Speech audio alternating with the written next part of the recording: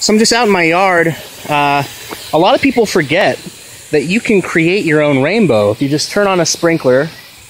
Um, and if the sun is angled the right way, only when you're outdoors, you will get a rainbow.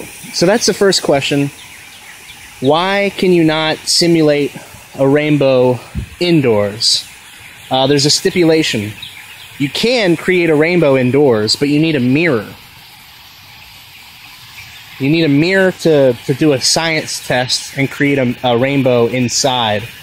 So I beg the question if you need a mirror indoors, what's providing the mirror when you are outdoors?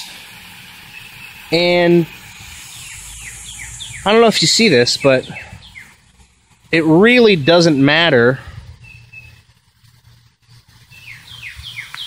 It really does not matter um, about the water, where the mist is. Doesn't matter what my position to it is.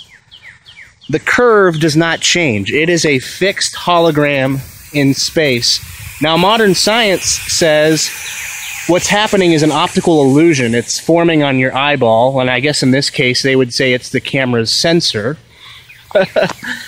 but they say that a rainbow is happening on your eyeball. You're having your own unique experience.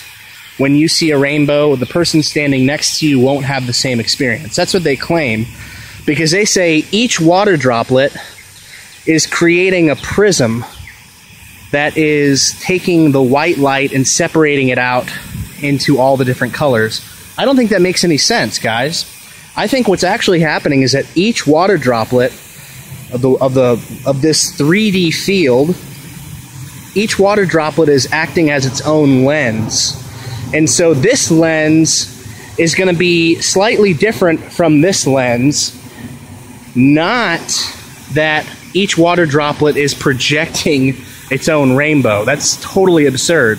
So each water droplet is a lens and it exists on a 2D plane. Right? I mean, I can walk right through it. Here, I'll walk right through it. No, I've got my camera. That's a really stupid idea. But um, we've got a 3D field of, of vapor, right? This is 3D going back and forth, but the rainbow only appears on this 2D XY axis. And so the sun is there, and the sunlight is providing one line of sunlight. If it's a 2D line on a 3D spectrum of vapor points, modern science says that there should be thousands or millions of rainbows all along this axis. But there's not. There's just one rainbow on a 2D surface. So that means that one line is converging here and another line is converging somewhere else. There is a mirror when you are outside to create the rainbow. And that mirror is the dome. It's catching sunlight and it's meeting itself to create all the various colors.